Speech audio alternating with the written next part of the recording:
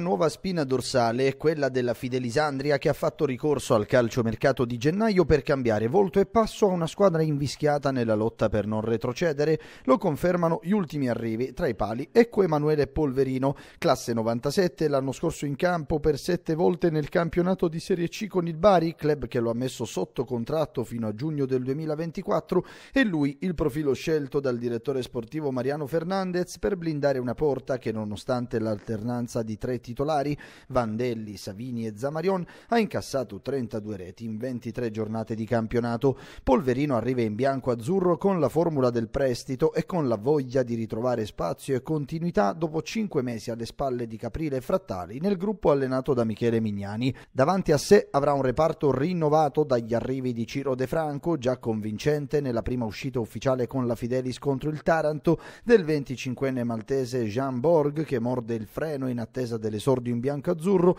e del 2002 italo-belga Edoardo Grosso, arrivato in prestito dall'Arziniano Valchiampo con Milillo, uno dei più contestati nella prima parte di stagione, che ha fatto invece il percorso inverso, risalendo il 3-5-2 di Bruno Trocini, ecco alla voce nuovi arrivi che accanto a Daniele Marino, under prelevato dalla Lazio, e all'esterno Finizio, arrivato dal Picerno, trova posto anche Francesco Salandria, classe 95 ma già veterano della C, giocata con Acragas, Matera, Regina, Catania e Viterbese, impiegabile sia da mezzala che da play, ha scelto di tornare tra i pro dopo un anno e mezzo tra la Mezia Terme e Cavese Indy, con circa 50 presenze e due gol. Sarà a disposizione dello staff tecnico bianco-azzurro sin dalla trasferta di Picerno per completare il restyling della spina dorsale, fermo restando le attese per un laterale in più a sinistra, si attendono novità dall'attacco, dove il DS Fernandez sta scandagliando anche il mercato estero. Sin qui sono andati via Scipos e